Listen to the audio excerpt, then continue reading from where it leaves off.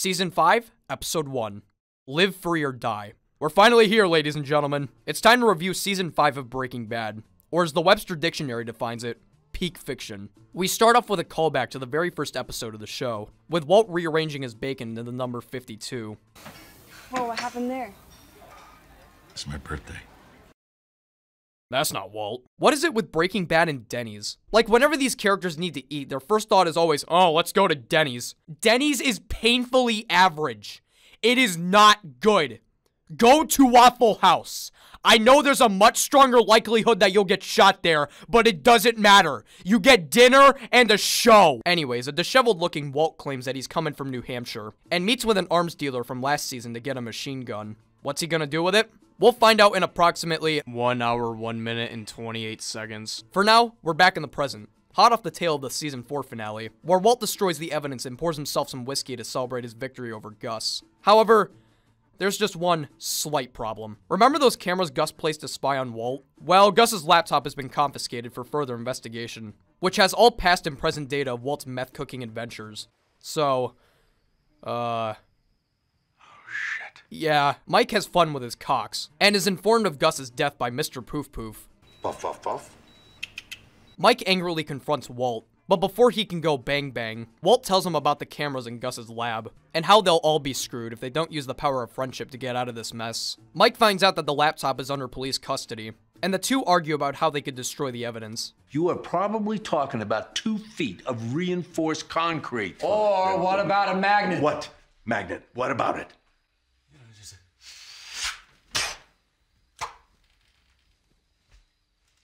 They test out the magnet idea, and the idea actually ends up working. Yeah, that did it. Huh? Yeah, bitch! Magnets! Oh! Saul informs Skyler of Ted's incident and meets him at the hospital. he looks like a hard-boiled egg. Walt, Mike, and Jesse cooperate together and pull off their magnificent magnet heist. Their cover is almost completely blown at one point, Mr. White, let's get out of here. Just one minute. but their plan manages to work. Fring Gustavo. Samsung laptop computer. Damaged. Glass screen is broken and in pieces. Did all that even work just now? Yes. Why? How do we know? Because I say so. That is just not how you win arguments. Saul tells Walt about Skyler's fun with taxes with Ted. Walt criticizes him for going along, but Saul criticizes him back for putting Brock in the hospital, and quits doing business with Walt. We're done. When I say we're done. Hi, A tier. Season 5, Episode 2 Madrigal. We open with one of the best cold opens in television history, with a German guy eating tater tots. One of the food scientist guys tells him about all the recipes of the sauces, but the German guy looks blankly, as if he's preoccupied with something. The scientist tells him to give the Cajun kick-ass sauce a taste, and it's so abhorrently awful that the German guy electrocutes himself. This German guy is the CEO of Madrigal, a conglomerate that looked over Los Pollos Hermanos and its business practices. However, after Gus got the half off discount, the police began investigating the company for any incriminating information, and the CEO decided that he wasn't in the mood to face the music.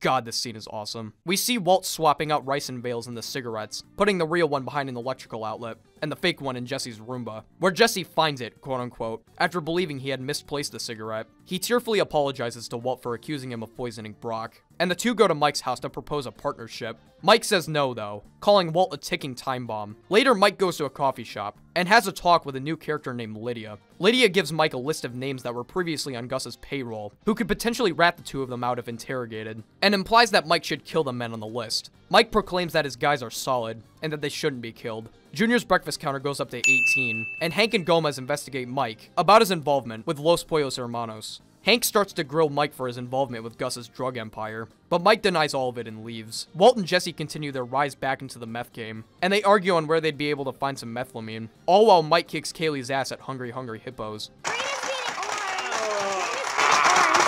Chow, the guy that Mike shot in the hand in that one episode, calls Mike to talk about his DEA meetings. But Mike realizes that Chow is being held hostage and uses a dancing pig as a distraction to get the upper hand. Chris. Are you ready? This is my.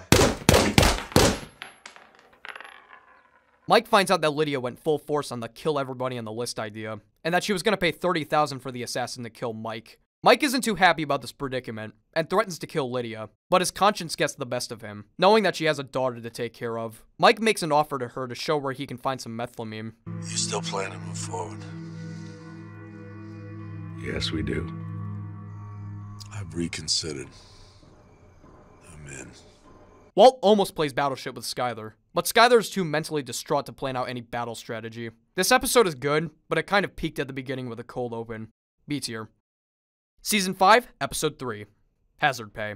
Mike goes around town talking to Gus's men, informing them of the death of Chow, and reassuring them that they will get their compensation. Walt moves back in with Skyler, and Walt tells Saul that Mike will be joining the meth squad. Mike's okay. He's okay. He said he was gonna break my legs. Mike threatened me. He threatened Jesse. He probably threatened someone before breakfast this morning. Fuck you, I'm counting it. Saul starts scouting the area for potential places for the meth squad to cook. One place is too steamy, the other one's a health hazard, and one's the laser tag place. But after a lot of searching, they find a place that's just right. It's perfect. What? How are we gonna fit a lab in here? Who said here?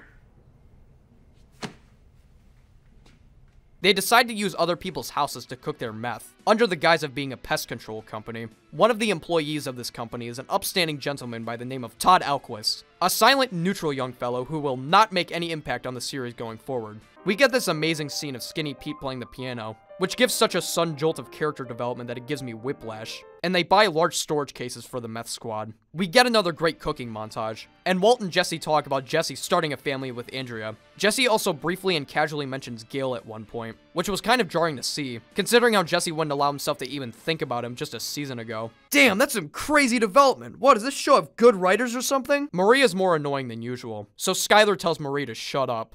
I know for a fact that that is illegal. Marie! Shut up! What? Shut up! Shut up! Shut up! Shut up! Shut up! Shut up! Skyler's been very emotionally numb this season so far. Skyler can be annoying at times, but it's hard not to feel for her. Marie tells Walt about Skyler's breakdown, and Walt explains to Marie why, telling her about Beneke's accident and Skyler's affair with him. Luckily, Marie is really good at telling secrets, so she doesn't. okay, well, you know, you already know where this joke is going. She tells Hank like two minutes later. God damn you, Marie! The meth squad counts out the money from their big cookout, and Walt finds out the hard way that being the boss sucks ass. They originally made well over a million dollars, but the distribution of the money costs them a pretty penny, leaving them with only table scraps. This is business. End of story. This is your problem. It should come out of your end. Hey, hey, Stick out of mine. All right, go for it.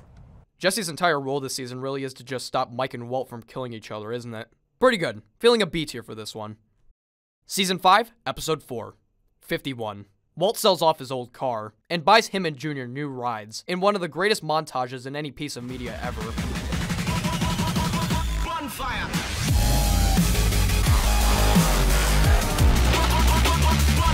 Hank investigates Lydia while at work, interrogating her about her involvement with Gus Fring. She takes them to the warehouse and pins the blame on her inside guy, Ron. Skyler talks to Walt about sending Junior and Holly to a boarding school due to her worry about Walt being a bad influence on them. Unfortunately, she can't do that right now because Junior's too busy enjoying the most important meal of the day. Oh boy, just a few more breakfasts and the counter will be old enough to drink! Hank is continuing to piece together the Heisenberg case, and his boss gives him a huge opportunity to become an ASAC officer. Marie slips to Hank about Skyler's affair, as they go to Walt's house to celebrate his birthday. Hey, Hey! As they celebrate, though, Skyler decides to go for a dip in the pool. Yahoo, am I right? Well, not so Yahoo, because Skyler is trying to drown herself. This goes so fucking hard. Jesse gets some methylamine from Lydia, but they find a tracker underneath one of the barrels. While Skyler dries off from her sick bubble bath, Walt talks to Hank and Marie about her affair with Beneke, and Marie offers to take care of the kids at their house for a bit. Walt later talks to Skyler, infuriated about Skyler not wanting the kids at the house. Walt figures that Skyler sees him as a threat, and they both get into a heated argument about Junior and Holly staying at the house, and Heisenberg begins to emerge. This is a joke. Come on, Skyler. You want to take me on? You want to take away my children? What's the plan? I don't know! Man, I can't joke about this. This is too real. Jesse shows the tracker to the rest of the meth squad, but they realize that it might not have been placed there by law enforcement. Okay. She's dead. This episode was pretty good, giving it a B tier. They're watching Ratatouille. Never mind, A tier. Season 5, Episode 5 Dead for Freight. The episode begins with a kid on a motorbike stopping to pick up a spider, with the sounds of a train honking in the background. Walt meets Hank at his new promotion and tells Hank that Skyler is feeling better. Actually, she's she already found someone. Yeah, Peter. There's no way that was a coincidence. There's no way. Walt then has a sudden breakdown in the office about him and Skyler's marriage. This might be a stretch, but trust me on this one. While Hank gets him a cup of coffee to cure his woes, Walt plants a wire to listen in on Hank's meetings, and he later meets with the meth squad to interrogate Lydia. They force her to call Hank and ask him about the tracking device from the episode before, and their suspicions about Lydia being the one who placed it there are confirmed. Hey, Gomi, come here, would you? You don't know anything about GPS trackers on a methylamine barrel, do you? No, nobody from my team planted anything. Why? I don't know. Figured as much. I know what you're thinking, but but I didn't do it. I'm telling you, I didn't plant that thing. Shut up. Before Mike can make Lydia's head go kablooey, she tells them about a source that has an ocean's worth of methylamine. More specifically, a freight train, which is carrying over 24,000 gallons worth of it. The meth squad come up with a plan to hijack the train, and they enlist the help from Todd to aid them in their operation. Skyler remains insistent that Junior and Holly stay with Hank and Marie, and she notices some dirt on Walt's pants. Out burying bodies? Robbing a train. what a badass. D-Day arrives, and the meth squad initiates their plan into full action. They first stop the train by having Bill Burr stall out right in the middle of the tracks, and Walt, Jesse, and Todd begin setting up their equipment while Bill Burr distracts the conductors. They start siphoning off the methylamine from the train, but a good Samaritan appears to help Bill Burr push his truck off the tracks, and Mike, who's keeping an eye out on the operation, tells Walt to retreat.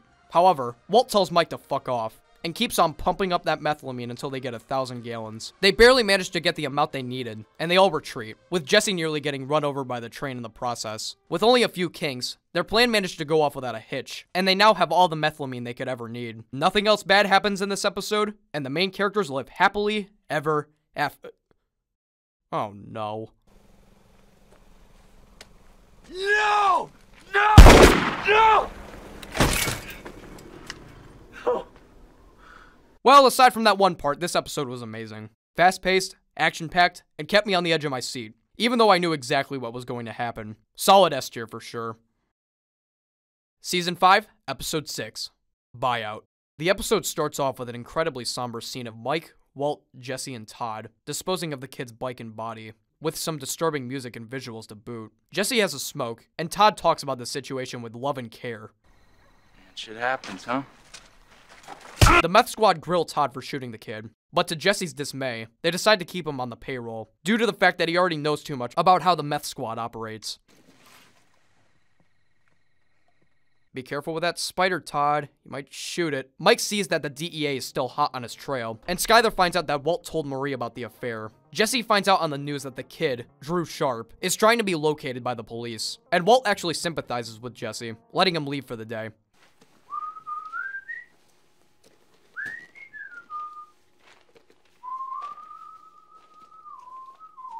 What's that? Missing kid on the news that we're directly responsible for? Great time for a good old show tune. By the way, the song Walt is whistling there is Lily of the Valley by Johnny Cash, the same flower that Walt poisoned Brock with. I have found a friend in Jesus, he's everything to me.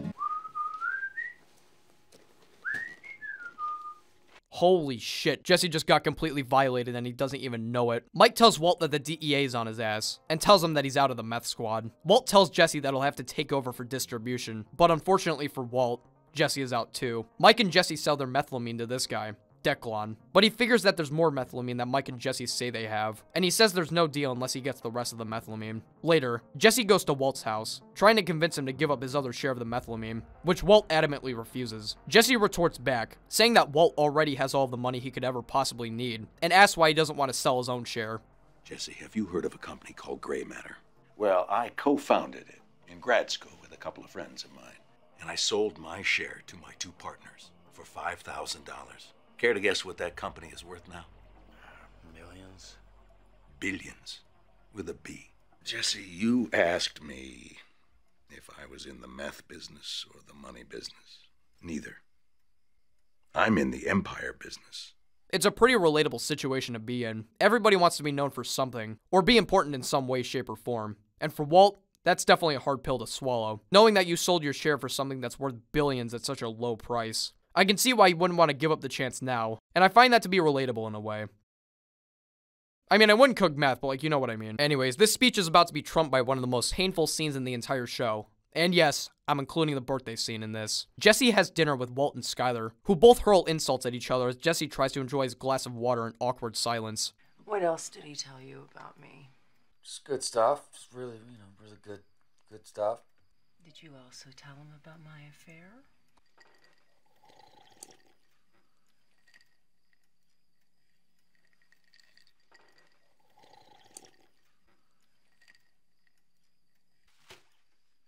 May I please?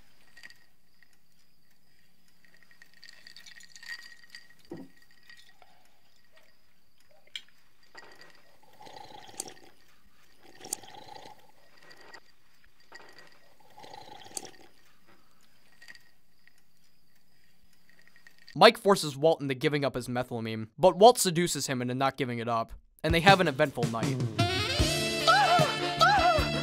God, think of how many Emmys that would have won. No, what really happens is that Mike restrains Walt, so that he doesn't do anything stupid with the methylamine. But Walt manages to escape using some electricity, while Saul gets a restraining order from the DEA for Mike. When Mike comes back, he sees that all of the methylamine is gone, and puts a gun to Walt's head. But Jesse tells him about an idea before he can pull the trigger. Look, you get your five million, we both do, and he gets his methylamine, all right? Just hear him out. Is that true, Walter? Everybody wins. Hi, A tier. Season 5, Episode 7. Say my name. Oh boy, Walt's gonna say the thing! The meth squad meets Declan in the middle of the desert, ready to strike up a deal. Walt berates Declan, saying that Declan's meth is only 70% pure, while his meth is 99.1% pure. Yours is uh, just some generic cola. What I'm making is classic Coke. Do you really want to live in a world without Coca Cola? Walt continues to berate him, talking about how Declan dyes his meth blue to look like his product, but how he now has the opportunity to sell meth from the greatest meth cooks in America. Declan asks exactly who he is, and Walt says the thing. Say my name. Heisenberg. You're goddamn right. A lot of people joke about how awkward it would be if Declan legitimately didn't know his name, but I feel like in this universe, it'd be like if someone didn't know what McDonald's is. It's a name so well known that it's part of the country's daily lexicon. It's really the first time in Walt's life he's ever had this moment to shine, and my god, you can feel the ego burst through the seams. As much as I love the say my name line though, I have a great appreciation for that do you really want to live in a world without Coke line. Great line of Coke. I mean Coke line. I mean, fuck. The deal is reached with Declan, and Mike parts ways with Jesse and Walt. Mike has his lawyer put his money away in this great montage, and he disposes of his evidence and weaponry into a well. So when the DEA looks through Mike's house with a search warrant, they find nothing. Walt makes an offer to Jesse to start doubling down on the meth cooking, but Jesse is still head set on quitting the meth game, and asks Walt for his money. Walt tries his best to convince Jesse to stay, saying that he'd be squandering his potential, and they start arguing with each other. I'm done. No, you're not. You're not done. You're not leaving. Because if you leave, you get nothing. You understand me? Nothing! Hank is still distracted by the fact that he couldn't find any dirt on Mike, and his boss tells him that the case is essentially over, and to stop snooping around on Mike. Hank notices that all of Gus's men are being represented by the same lawyer, and tells Gomez to keep an eye out for him. In lieu of a partner, Walt hires Todd to cook some meth with him. The lawyer puts away more of Mike's money, but this time, things aren't looking too hot for him. Hey. Hey. Walt's breakdown counter goes up to 2 as he takes back the bug he planted in Hank's office. Walt also finds out from a conversation with Gomez that Mike's lawyer is going to give a tell-all about everything, including his deals with Mike. Walt warns Mike as he watches over Kaylee, and he flees the scene, leaving Kaylee behind. It's a really sad scene, knowing that it's probably the last time Mike will ever be able to talk to Kaylee. It's also probably one of the first times Mike has ever been genuinely shaken in the entire series, as he knows that, for the first time in a while, he has absolutely no grasp or control over the situation. Walt informs Saul over the situation, and Saul gets a call from Mike, asking him to give him his money. Saul figures that the DEA is tracking his car, so Walt decides to give Mike his money. But before he does that, Walt demands Mike for the name of Gus's men, but Mike decides that he's too cool for that, telling him that everything that happened is Walt's fault. wow! Oh, that's some kind of logic right there, Mike. Why don't you walk me through this, Mike? We had a good thing, you stupid son of a bitch. We had a lab. We had everything we needed. It all ran like clockwork. But no, you just had to blow it up. You and your pride and your ego. Walt's not about to take the beatdown of the century lying down, so in retaliation, he fucking shoots Mike.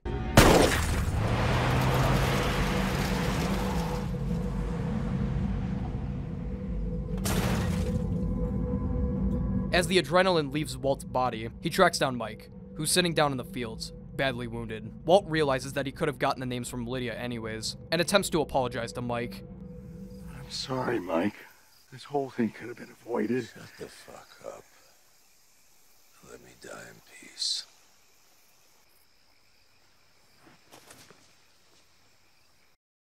S tier. Season 5, Episode 8 Fly 2. Let's go! No, I'm just kidding. Season 5, Episode 8 Gliding Over All. The episode opens up with Walt staring at a fly, and with Walt telling Jesse that Mike is gone. So, what do we do? We?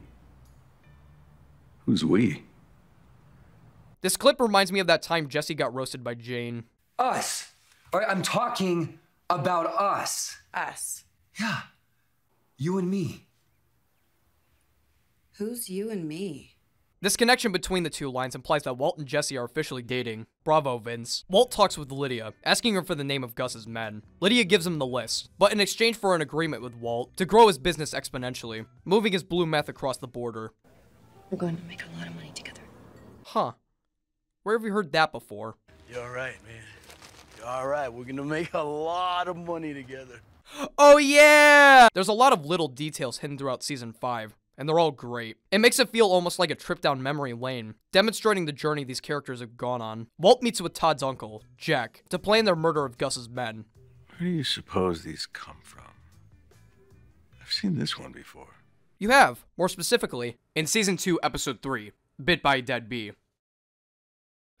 I have a problem. We then get one of the best montages in the entire show, with Jack's men taking out every single one of Gus's men in the span of two minutes. Later, Walt goes over to Hank's house, frustrated about the news of Gus's men being murdered.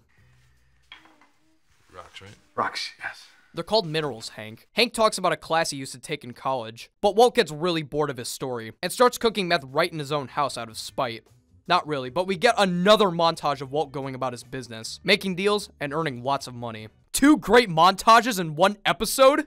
I'm gonna come! Marie tells Skyler it's probably time to kick the kids out of their house, and Skyler drives Walt to a storage facility, showing how much money Walt has truly earned in the iconic money shot. Walt then finally figures that enough is enough. And after another cancer checkup mirroring a shot from the very first episode, and noticing that the towel dispenser he beat up in season 2 is still beat up, he gives Jesse his money and goes home to tell Skyler that he's officially retired from the meth game for good. Now, with Walt officially out, the family back home, and with more money than he could ever count, things seem to finally be back to normal. With a lot of scars, Walt managed to accomplish his goal of keeping his family financially secure, and it looks like it's about to be a happily ever after for Walt. Unfortunately, Hank's bowels are a little more active than usual today, and he decides not to hold it this time around. He thinks that the magazines won't make for good reading material, and picks Walt Whitman's Leaves of Grass. And well, I think you know what's about to happen next. To WW, my star, my perfect silence. WW. I mean, who you figure that is, yeah? Woodrow Wilson? Willy Wonka? Walter White? You got me. Another S tier. Season 5, Episode 9 Blood Money. We get another flash forward of homeless Walt as he enters his now abandoned house, with teenagers skateboarding in an emptied out pool. and with the word Heisenberg spray painted across the walls. He looks behind the power outlet and finds the ricin he hid from a few episodes ago. Hello, Carol. We return to Hank's realization that his brother-in-law was Heisenberg the entire time, and he is absolutely stunned. He just wanted to enjoy a relaxing shit, but now he's made a discovery that recontextualizes his entire viewpoint of Walt as a person and could shatter the entire family permanently if he were to tell. So not cool. Hank attempts to drive home, but the thought of his own brother-in-law being the person he was chasing the entire time distracts him and causes him to have a panic attack.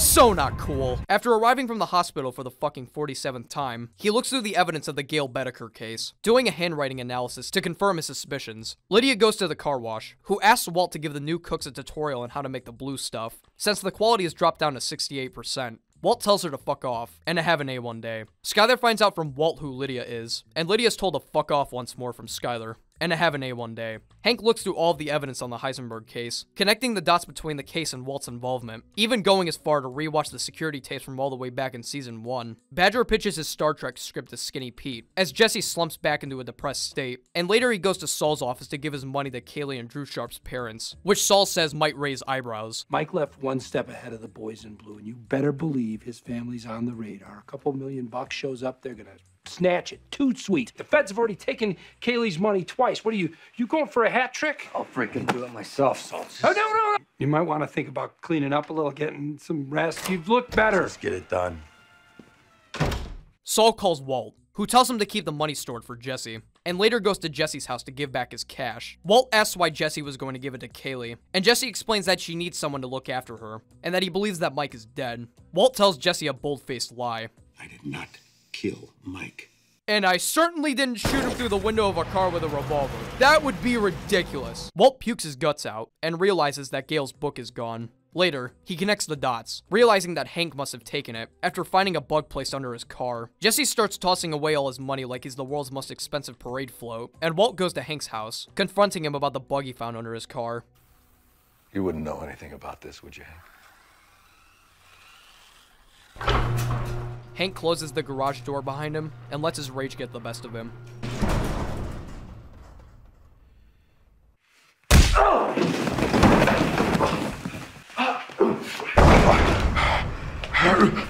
Hank, it was you. All along, it was you! Hank confronts Walt about everything. From him driving into traffic to keep him from the laundry, to the fake call from Marie, to him killing Gus Fring. Walt tells him that his cancer is back, and that using these accusations against him is pointless, and could destroy the family for nothing. I don't even know who I'm talking to. If that's true, if you don't know who I am, then maybe your best course would be to tread lightly. A tier. Season 5, Episode 10 Buried. We see an old man pick up the wads of cash that Jesse was tossing around last episode, eventually spotting a mentally unstable Jesse spinning around on the playground. Walt rushes back home after getting KO'd by Hank.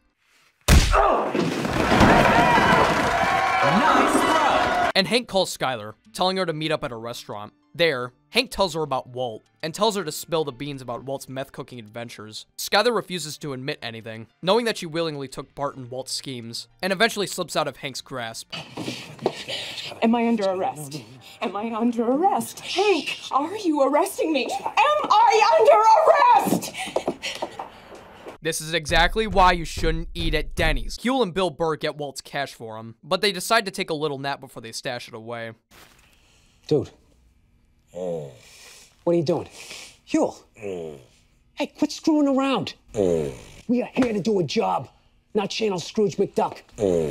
You hearing me? I hear you. Ah, screw it.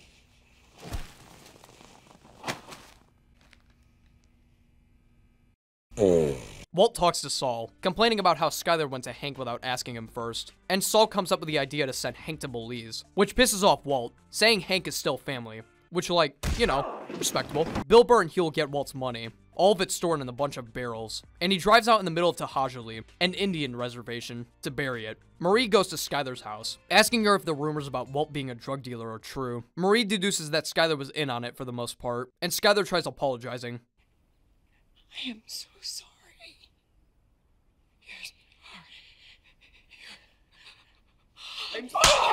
S tier. Marie then acts completely responsible and tries taking Holly away from Skyler. I don't care how much money you launder, that is screwed up. You can't take that away from me. Give me my baby, Skyler. We have anything my child. Give me Double S tier. Walt finishes digging the hole and puts all of the money barrels into it. Once he's done, he saves the coordinates of the barrels on the off chance he'll need it. But that day will never come, so we're good. Oh my god. Walt spends the night on the bathroom floor, and he assumes that Skyler made a deal with Hank, and requests her to hang on to the money as long as she can. You can't give yourself up without giving up the money. So maybe our best move here Is to tread lightly! is to stay quiet. Oh, not as cool. Lydia checks in on Declan's group to ask why the meth has suddenly become complete ass, and she tricks the group into being murdered by Jack and Todd's gang. Marie advises Hank to turn his story into the DEA, but Hank wants to work on this case alone. Hank goes back into work, and is informed about Jesse's unofficial Wheel of Fortune episode taping. Hank concocts a plan to take down Walt with Jesse, and he goes into the interrogation room to pitch the idea. Hi, A tier.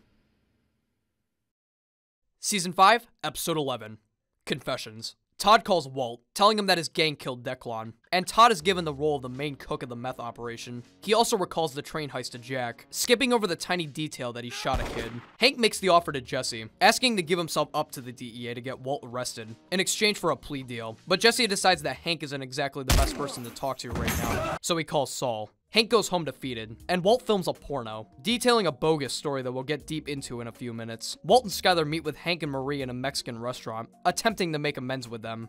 So, how about that guacamole? We make it right here at the table.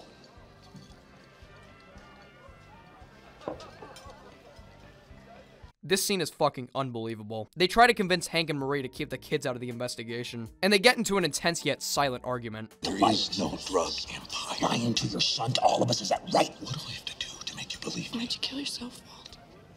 What the fuck? This whole thing dies with you, right? That's what you're saying here? Well, maybe you should just go ahead and die then. I mean, yeah, but like.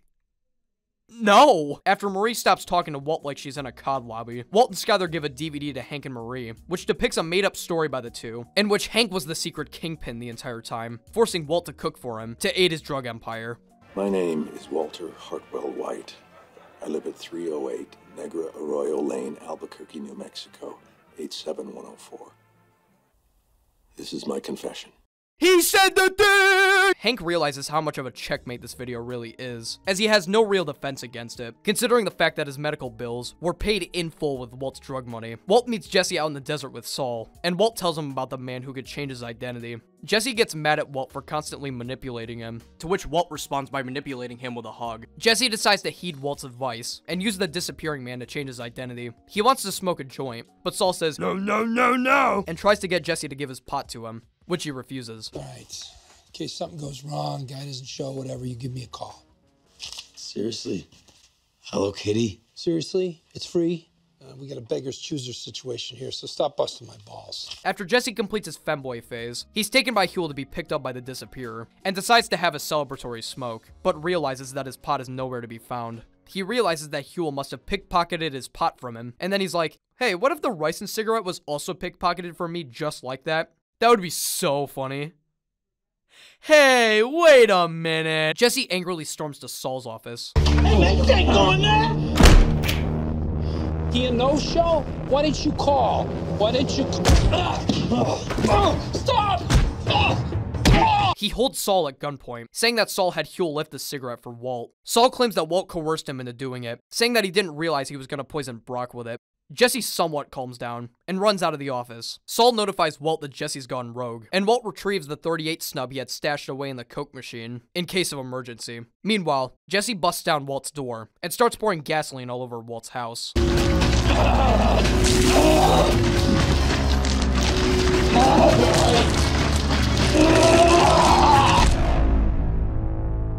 A tier.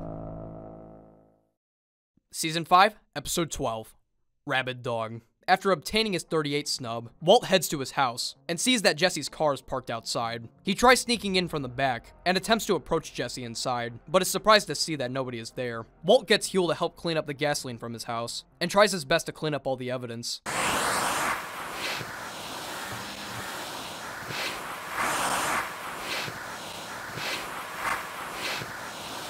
Oh, no, no.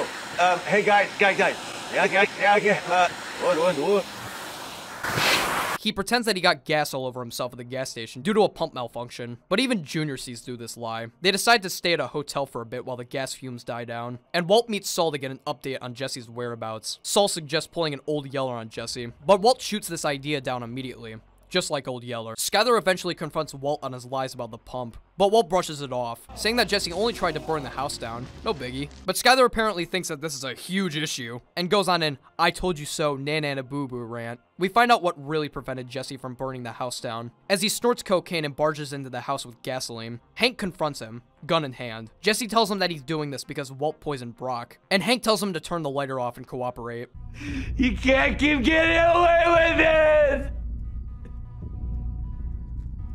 He can't keep getting away with it! Hank takes Jesse in his car, just as Walt notices Jesse's car in his driveway. Hank takes Jesse to his house to begin their ultimate plan to take down Walt. Junior has an emotional moment with Walt by the pool. You think I came all this way just to let something as silly as lung cancer take me down? Not a chance. I'm not going anywhere. Well, uh, Jesse makes a confession tape of his own for Hank, telling his entire story of Walter White and his dealings, and they later listen to another message from Walt, telling Jesse to meet at the plaza. Hank tells him the plan. Jesse will go talk to Walt with a wire on, have him explain everything, and they'll arrest Walt with the evidence they need. However, Jesse sees this as a death sentence, since he tried to burn down his house quite literally yesterday. Yeah, no, Mr. White's gay for me. Everyone knows that. Nevertheless, Jesse follows through with the plan, and meets with Walt at the plaza. However, while walking, Jesse notices a man he thinks is guarding Walt, and walks to a payphone to talk, as he's come up with another plan to take Walt down. I just want to talk to you. No, I'm not doing what you want anymore. This is just a heads up to let you know I'm coming for you. See, I decided that burning down your house is nothing. Next time, I'm gonna get you where you really live. Jesse, listen.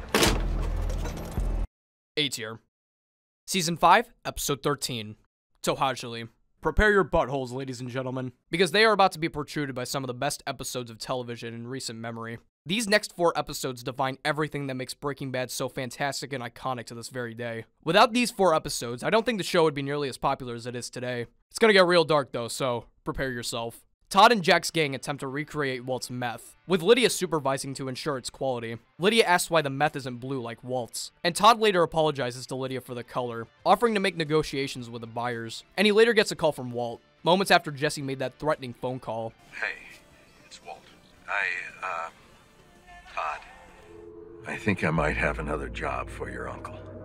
Jesse gives his idea to Hank, which is to use Walt's own money against him. To start, they fake Jesse's death with a made-up crime scene. They later take Huell to a safe house, and use this photo of Jesse while interrogating him, saying that Walt killed him, and that he's currently in a safe house for his own protection. Huell eventually gives up some vital information for Hank and Gomez, and they leave, telling him not to take a step out the door until they come back. Walt visits Jack's gang, confirming their hit out on Jesse, and they do it under the condition that Walt teaches Todd to cook his formula. To get Jesse out of hiding, Walt tries to lure him out by having Andrea call his phone, but Hank intercepts this call, blocking Walt's assassination attempt. Gomez figures that this plan is a big fat game over, but Hank comes up with another plan. I'll bet you 10 to 1 he buried that money. No kidding. So what? There's a whole lot of desert out there. How are we gonna find the right spot? You said it yourself. There's no GPS on the van. Yeah. Walt doesn't know that. Saul goes to the car wash to meet with Walt, and runs into Walt Jr., who recognizes him from his ads. You're on our billboard. You're, you're the lawyer guy. Yeah. Better call Saul. Thank you very much. Good to meet you. Yeah. Don't drink and drive, but if you do, call me. Saul tells Walt that Huell's gone AWOL and thinks that there might be a setup. However, Walt doesn't believe this, as he thinks that Jesse is too high to do anything elaborate. That is, until one of the best and most underrated scenes in the entire show plays out. Walt gets a text from Jesse, showing an open barrel of money out in the desert. Shocking, Walt.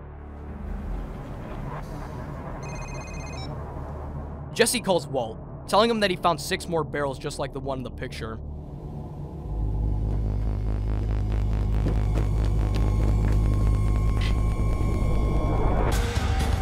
Jesse tells Walt that he threatened Huell to give up information, and that Huell took him to the rental van, which had GPS, leading him to Walt's money. He threatens to burn Walt's money, and Walt pleads with him not to. I said I'm coming! Don't you touch my money! Fire in the hole, bitch! There goes 10 G's Oh, nice orange flame. No, no, no, no, no! Walt tells him that his cancer is back, and that Jesse isn't hurting anyone but his kids. But Jesse calls him out for being a hypocrite. Walt apologizes for what he did to Brock, and says that everything he's done was to protect him and Jesse. I ran over those gangbangers. I killed Emilio and Crazy 8Y. I did all of those things to try to save your life as much as mine. Only you're too stupid to know it. A detail that I like about this whole scene is that Jesse refers to Walt simply as Walt, rather than Mr. White. I'll give you a hint, Walt. It involves a couple of five-gallon cans of gasoline and a lighter. No, no, no, no, no, no, Jesse, please. Calling him Mr. White was a sign of respect, showing that Jesse looked up to him. But at this point, Jesse has lost all respect for Walt, and this change in speech is a subtle way to indicate this. Jesse eventually stops talking to Walt, and Walt makes it to his money. However, Jesse is nowhere to be seen, and as Walt walks around with his gun in hand, he realizes that he was set up by Jesse. And as he sees what he presumes to be Jesse's car pulling up to the scene, he goes into hiding and calls Jack and his gang to take him out. However, he realizes that Hank and Gomez were teaming with Jesse this whole time, and he calls off the hit. We get a shot that parallels the very first shot of the entire show, as Walt eventually gives himself up to Hank, who arrests him on the spot. Walter White, you have the right to remain silent. Anything you say can and will be used against you in a court of law. You have the right to speak to an attorney and have an attorney present during any questioning. If you cannot afford an attorney, one will be provided for you at the government's expense. Do you understand these rights as I have just recited them to you? Walt calls Jesse a coward, and Jesse spits in his face, and they fight for a brief moment before Walt is forced into the car. Hank calls Marie, celebrating his capture of Walt. Unfortunately for Hank, this celebration is a bit premature, as Jack and his gang decided that they didn't want to call off the hit. Walt screams to Hank to get away, and for Jack to put down his weapons, but this situation is out of Walt's control. In one of the best and most intense moments of the show, Hank, Gomez, and Jack's gang get into a huge shootout.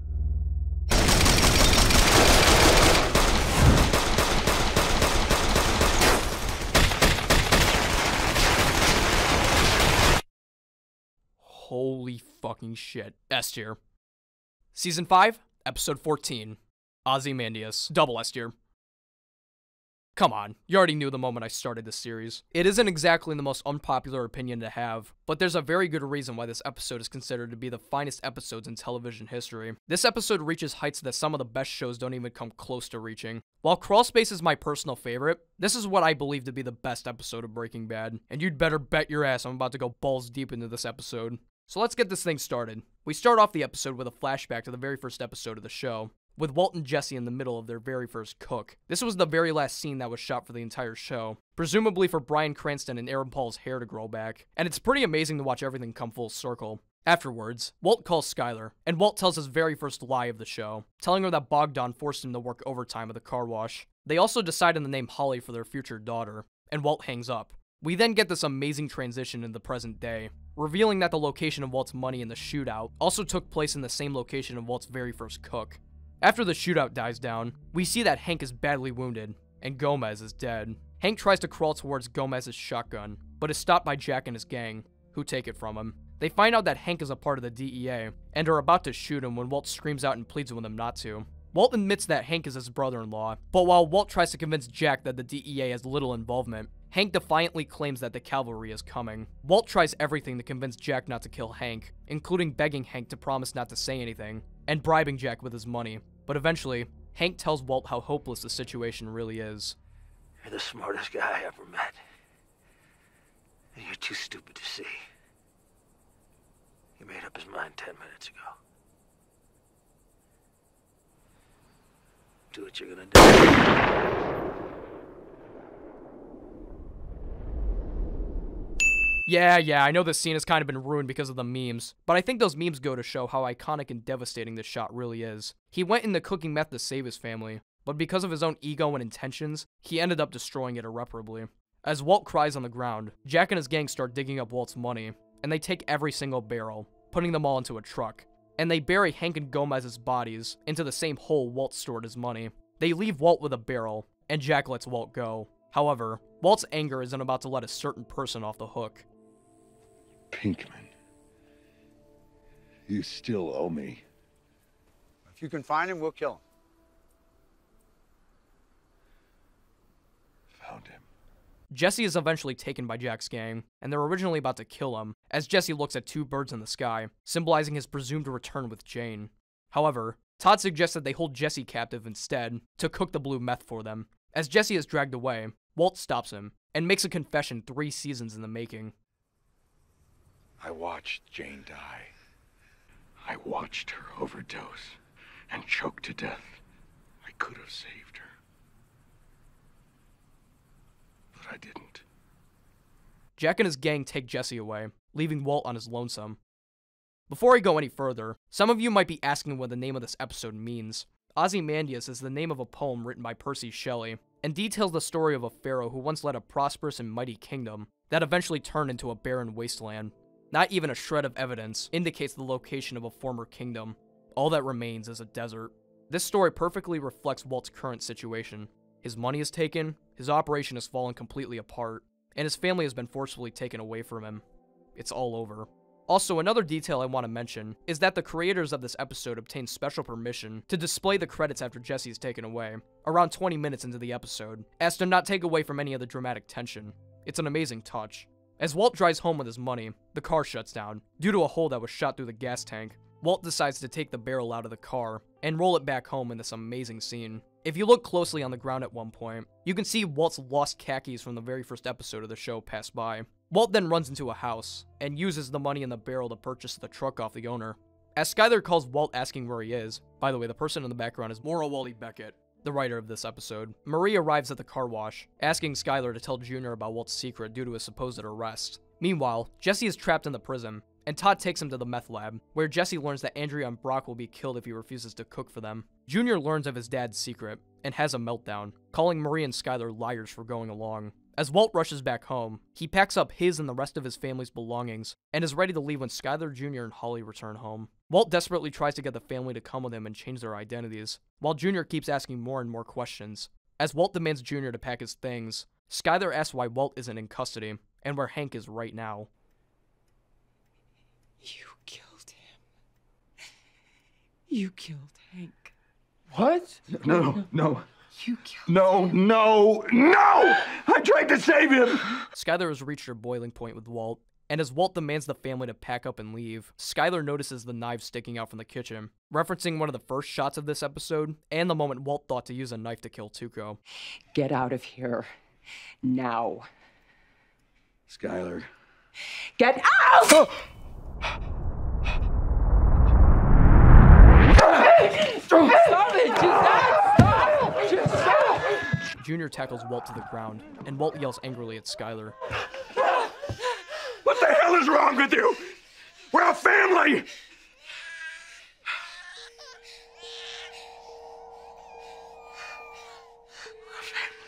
As Junior calls 911, Walt takes one more desperate move to hold on to whatever aspect of his family he has left by kidnapping Holly. Skyler desperately tries to get Holly back, but it's no use, as Walt backs out of the driveway, pushing the car out of the way. Skyler tries her best to run to Walt's car, but it's too late, and she collapses in the street. This entire scene is unbelievable. Watching this, you'd think Hank dying would be the climax of the episode, but it gets even worse than one could possibly imagine. The scene specifically with Walt and Skyler fighting is so good that I believe there's an actual science behind it. Let me explain. First off, this is one of the first times in the entire series that we see either of these characters raise their voices. Junior and Skyler usually remain pretty neutral, with Skyler having the occasional argument with Walt. However, this is one of the first times that we see either of them take this level of action, with Skyler slicing Walt's hands with a knife, and Junior physically pulling his father off Skyler. This level of new territory and unfamiliarity, combined with the situation we see these characters in, makes for this intense feeling that we as an audience can't shake. Second, in the background we can hear Holly crying, which adds even more intensity to the scene. Humans have an instinct known as fight or flight, a primal response in our brain that causes us to immediately react to a situation by either responding to the scene head on or by fleeing the scene entirely. One of the most common causes of fight or flight is the sound of a baby crying. So by adding this sound to this already intense scene, it increases the sense of uneasiness as a viewer. Third, the cinematography. You got these shots of the camera zooming in on Walt and Skyler's fight, which adds a ton of energy to the scene. Also, the acting is astonishing. It all comes together to create such an incredible scene. Walt takes Holly to a gas station to clean her up, but Holly says something that breaks Walt's heart. No, Mama. Mama, Mama. Mama. Apparently, this part was improvised by the baby playing Holly. You know you've got a good episode when the baby is at the top of her game. This scene might just be the hardest to watch out of the same episode with death and fights between family members, and it really goes to show the level of disconnect Walt has between him and his family. The police and Marie come to the house, sending out an Amber Alert for Holly, and Skyler gets a call from Walt, who gets wiretapped by the police. Walt berates Skyler, saying that he warned her that there'd be consequences if she crossed him. Skyler apologizes and asks what happened to Hank. Where is Hank? Please, we need to know. You're never gonna see Hank again. Skyler begs Walt to come home, but Walt tells her that there's still things he has left to do. This might just be one of the best scenes in the entire show. And I know I've said that like 40 times, but this time I mean it. I gotta do a big ass deep dive for this one. First off, on the surface, it seems like Walt is berating Skyler as usual, but he's actually doing her a huge favor. Skyler committed a huge crime by helping Walt launder his money, but Walt's phone call essentially lets her off the hook, framing Skyler as the moral spouse that was forced to do Walt's dirty work. Oh no, Walt, Walt, you have to stop. You have to stop this. It's immoral. It's illegal. You're always whining and complaining about how I make my money, just dragging me down while I do everything. For a majority of the time, Walt is putting on a facade, and Skyler realizes this early on. However, while he still plays the part of the bad guy on the phone call, Walt's real feelings start to seep through, as he breaks down crying, telling Skyler the truth about Hank. Throughout the entire series, Walt cooked meth to make money for his family, and although the majority of season 5 depicts him cooking meth for his ego and pride, a part of him still wanted to keep his family safe and secure, and it can be seen very well during this phone call. Also, there's another important thing I wanted to talk about here. There's this theory that Walt obtains a characteristic from every single person he kills, and I wanted to save this theory for this segment right here, because there are a few key moments where this theory is depicted. First off, the two guys Walt ran over in season 3 used kids in their operation, and in season 4, Walt uses Brock to get Jesse on his side. In the episode Blood Money, while Walt is puking in the toilet, he uses a towel underneath his knees, something Gus did in the episode where he killed the entire cartel. In this scene, when Walt is asked about Hank's whereabouts, Walt has this to say You're never gonna see Hank again. This directly parallels something Mike told Walt when he asked him about where Gus is at the beginning of season 4. Where's Gus? Why? Because I would like to speak with him. What? Walter, you're never gonna see him again. Also, at the end of the phone call, Walt snaps his phone in half, something Gus does at season 3 while listening to Juan Bolsa's death, and throughout Better Call Saul. There are probably a lot more examples of this throughout the show, so let me know if you've got any more examples of this. Anyways, Walt takes Holly to a fire department, where two guys are playing a game of chess, in which the White King only has a few moves to escape. Walter White? Kingpin? Oh! The next day, Walt meets with Ed the Disappearer, and is taken away in this fantastic closing shot.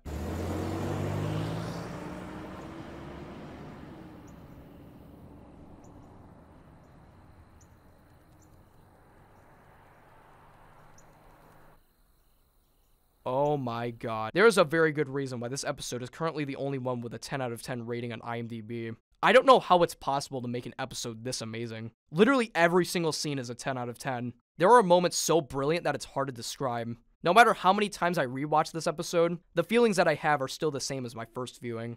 All of the awards and praise this episode received are well deserved. There will never be an episode quite as fantastic as Ozymandias. Season 5, Episode 15 Granite State. We see Ed the Disappearer taking Saul into the vacuum repair shop, prepared to change his identity and skip town. Ed tells Saul that he'll need to stay in the repair shop for a few days while he gets situated, and tells him that he'll be staying with a fun, goofball bunkmate. How's he holding up? You be the judge.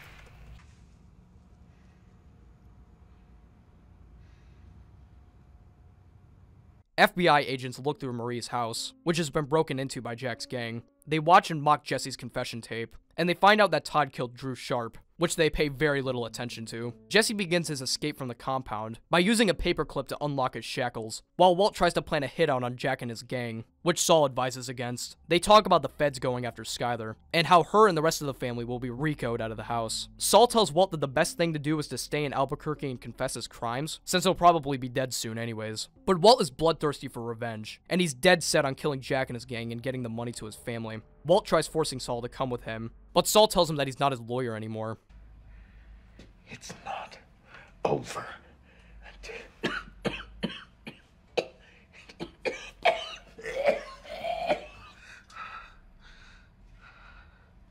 It's over.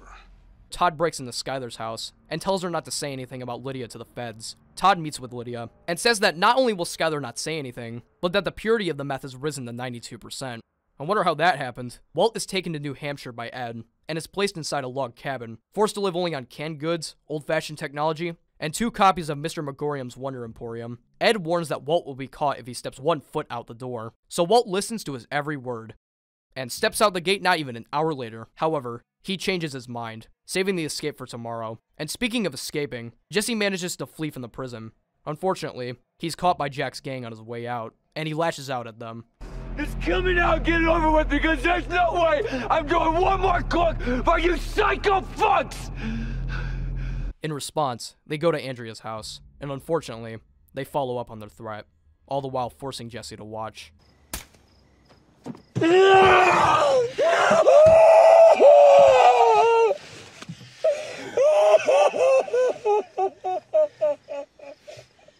After that fucking horrific scene, Walt meets with Ed again, who brings him more supplies and newspapers. Ed also tells him the news of Skyler, who is now using her maiden name. Before Ed leaves, though, Walt begs him to stay, paying $10,000 to play cards with him for an hour. Reminds me of the scene where Jesse asked Walt to go go karting with him, but Walt refused. Karma is a nasty bitch. That night, Walt's wedding ring falls off of his finger, symbolizing how dainty his fingers are.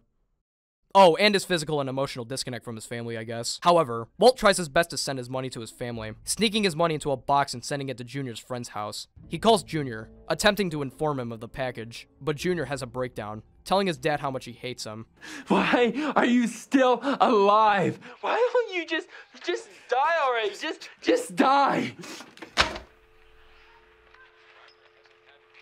It's a depressing scene in an already incredibly depressing episode, and it really does feel like everything Walt worked toward was for nothing. In the end, he destroyed his family, his operation, his reputation, and his legacy. The only true accomplishments to his name are his contributions to the company Gray Matter, but even then, he sold his share too early, figuratively and literally, all because of his ego. In the end, Walt has no one to blame but himself for all the destruction that ruined his life irreparably. Devastated, Walt confesses his crimes to the DEA on the payphone and collapses at the bar, ready to accept his defeat. However, as he watches the TV, he notices his former partners, Gretchen and Elliot, being interviewed. They say that Walt had very little involvement in the company, and that his only contribution to the company was the name. They also claim that Walter White is dead, and that his true personality has since vanished.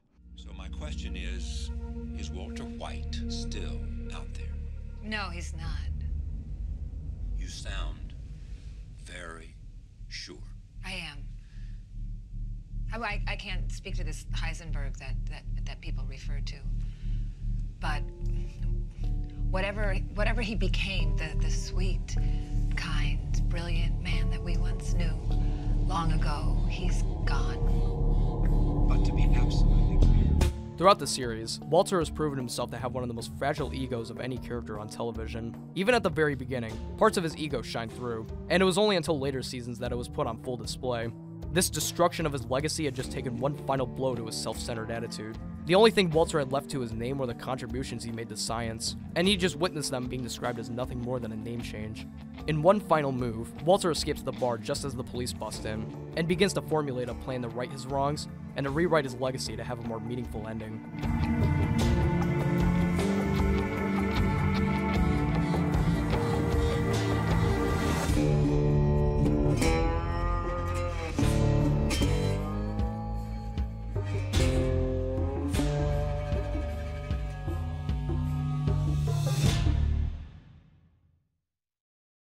Season 5, Episode 16 Felina.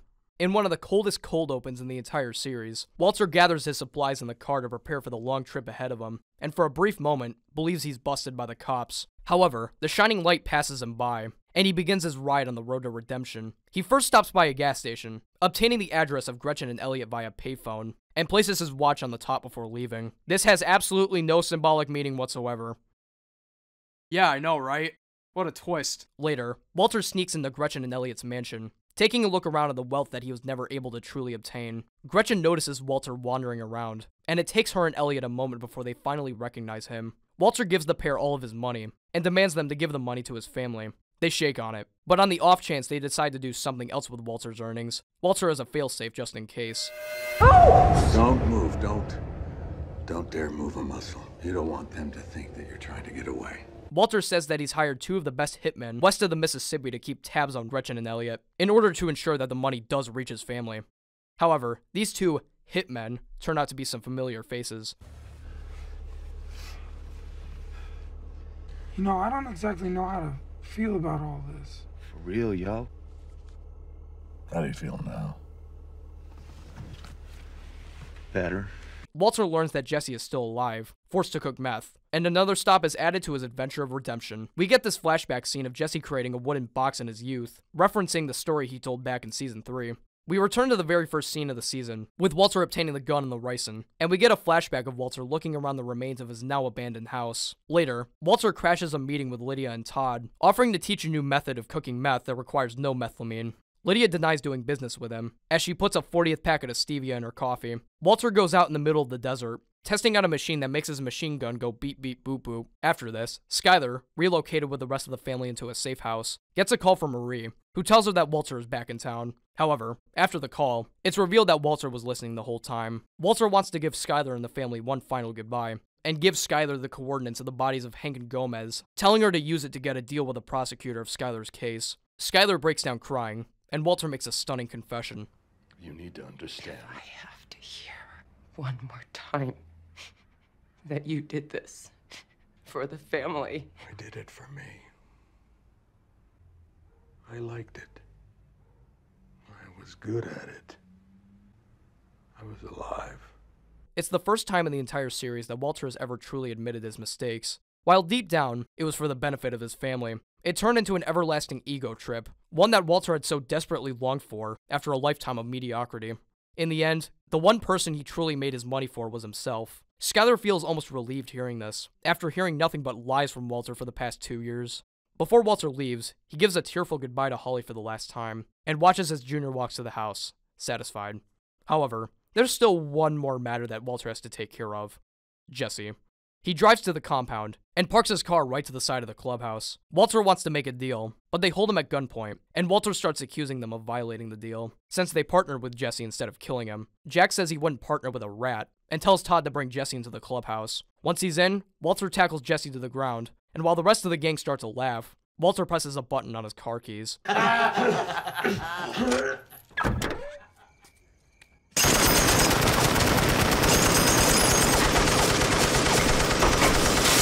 In one of the most satisfying scenes in television history, the machine gun fires off, killing everybody in the wreckage.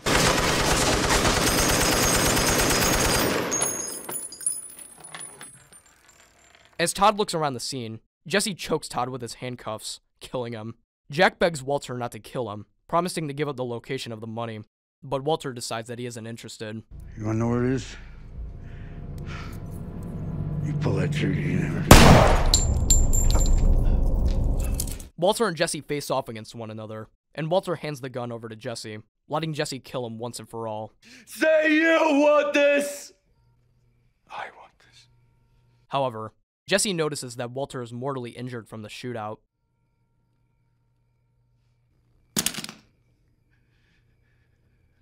Then do it yourself. As Jesse walks out of the clubhouse, Walter answers a call from Lydia on Todd's phone. How are you feeling? Kind of under the weather? Like you've got the flu? That would be the ricin I gave you. I slipped it into that stevia crap that you're always putting in your tea. Oh my god. Goodbye, Lydia. As Walter hangs up the phone, Walter and Jesse give one final silent farewell, as they part ways. Jesse escapes the compound and then El Camino, slamming through the gates and screaming in joy.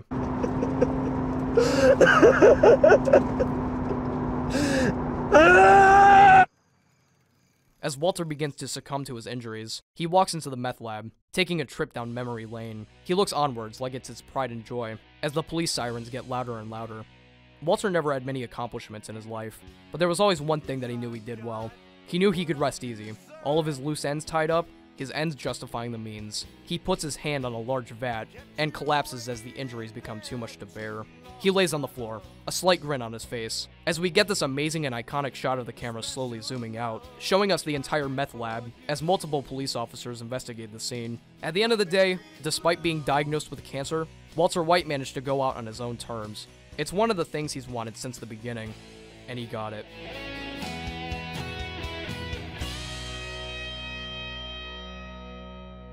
That's it. That's the entire show. Only took a couple months, but hey, I did it. Season 5 really is one of the best runs in TV history. The story reaches some of the highest highs of any media ever conceived, and every single episode is a sight to behold. Never again will there be a show quite like Breaking Bad. I could say so much more, but to be honest, I think I've said all I've needed to. Thank you all so much for watching this series. I've spent a lot of time watching, editing, and writing, but I think it's all been worth it. Hey, I think I'm missing something.